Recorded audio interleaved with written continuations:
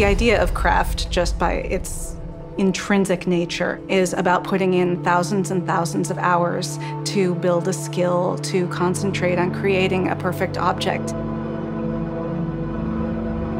The conventional view has always been that there's a dividing line, and on one side of that line are all the jobs that are definitely going to be susceptible to automation. And that's jobs that are fundamentally routine and repetitive. There's something about the idea that you can't take a shortcut, that you are heavily investing in something, taking the time to acquire a skill. 匠という目標があるからそそれに向かっていってんだって匠という目標を乗り越えたわけないよまだ匠という目標は向こうにあるわけよ一つのものに熱中して何時間も時間をかけてやり続ける。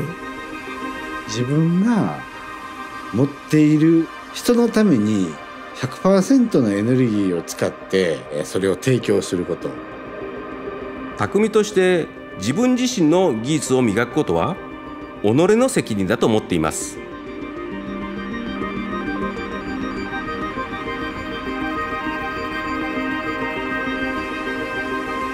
It's a way of living differently in this modern world.